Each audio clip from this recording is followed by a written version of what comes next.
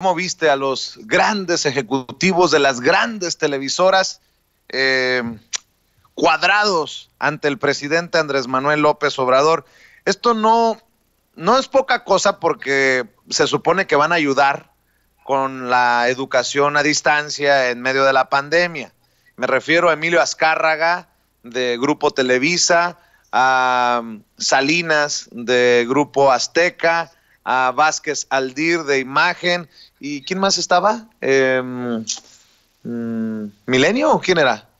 Francisco González, si no me equivoco, Vicente. Sí, Francisco, Francisco González. Gracias, Toño. Gracias. Eh, las cuatro televisoras más importantes de México ahí para ofrecer la mano al gobierno, que no va a ser gratis, yo creo que la gente antes de, aplaudir mm, debería de comprometerse a no olvidar. Se vieron, se veían muy chiquitos desde mi perspectiva ahí en Palacio Nacional los, las cuatro grandes televisoras, pero que no se nos olvide lo que han significado en la historia reciente de México. Dame tu opinión acerca de esta, este esfuerzo coordinado por el bien de los mexicanos qué coordinados están. Yo, mira, yo tengo muchas dudas, ¿no? Muchas dudas. Para empezar, he visto que ahí critican mucho a Andrés Manuel López Obrador por firmar un convenio con Televisa, una empresa bastante cuestionada, pero hagamos una reflexión. Televisa lo que tiene es una crisis de contenidos. Tiene una crisis de contenidos, no es nueva, viene arrastrando una crisis de contenidos. Contenidos que antes podía mantener porque tenía un gran presupuesto del gobierno federal. Hoy no tiene ese presupuesto y tiene que cambiar sus contenidos, pero en realidad Televisa es el que más se ha pegado al, nuevo formato de Andrés Manuel López Obrador. ¿no? Salvo por algunos comentaristas que tienen por ahí algunos programas, la realidad es que es el que más se ha pegado, es el que menos de Atosla ha hecho, por ejemplo. Mientras que TV Azteca, el que aún está más cerca de Andrés Manuel López Obrador, es el que más cuestiono a Salinas Pliego. Tiene crisis no solo de contenidos, de comentaristas, de malos comentarios, de muy mal, mala imagen laboral, y es pésimo para responderle a la gente, es incongruente solamente al pasar y se tiene todavía que cuadrar a lo que el presidente les pida. Eh, yo no sé si ahí Irving, ya cuestionó porque su jefe no usó cubrebocas. Creo que, creo que todavía no lo veo cuestionar eso. Cosa tan más rara.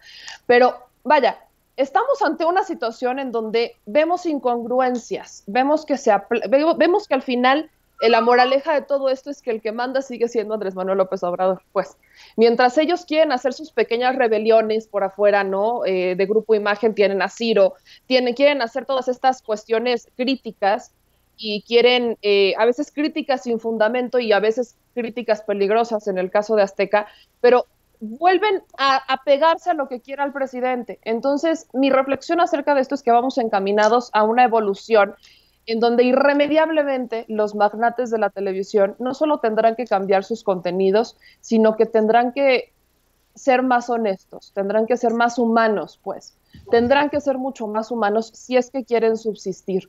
Hoy todavía hay que evaluar cómo van a manejar esto de la educación a distancia. Ya veo, por ejemplo, Azteca promocionándolo en uno de sus canales, particularmente. Ellos están rápidamente promocionándolo. Perdón, Televisa eh, Azteca todavía no veo que los promocione, pero ya empezaron a moverse. Yo solo quiero ver cuál es el compromiso real. Si el compromiso es por la gente, si el compromiso es por la audiencia o si el compromiso solamente tiene ojos de Sor Juana.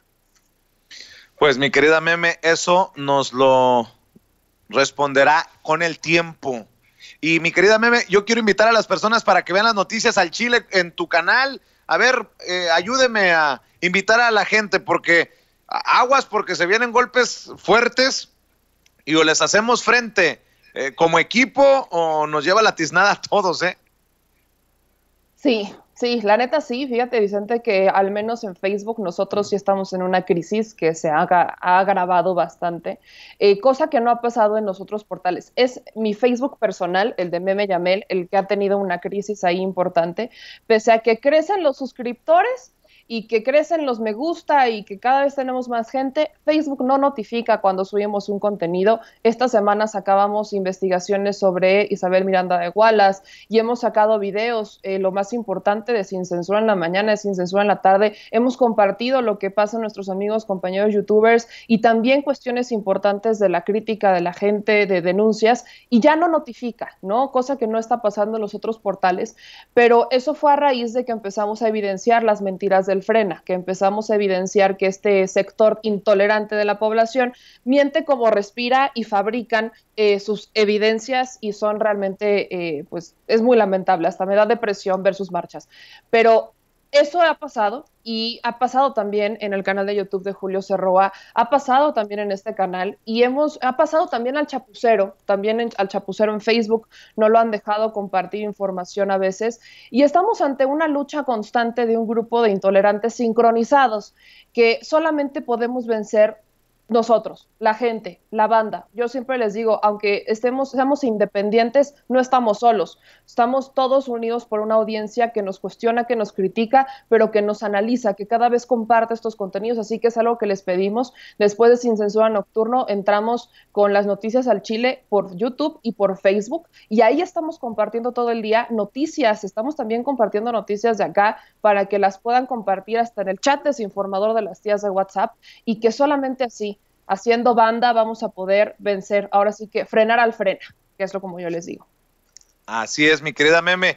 Eh, bueno, pues estamos al pendiente para Sin Censura Nocturno. Recuerde que de 8 a 10 de la noche, tiempo del centro en Estados Unidos y en México, vamos con las noticias y eh, es a través de Sin Censura Nocturno. A ver si podemos en estos días también entrevistar a Isabel Arvide, la nueva cónsul de México en Estambul y yo no sé qué más tengas preparado para hoy en la noche, pero seguramente las sorpresas y se va a poner bueno. Mi querida Meme, te mando un abrazote. Les mando un abrazo y les espera hoy una gran sorpresa en Sin Censura Nocturno. Ya lo verán al ratito. Ah, no. Ahora también me dejas no, picado. Meme, no. no, Meme. Adiós.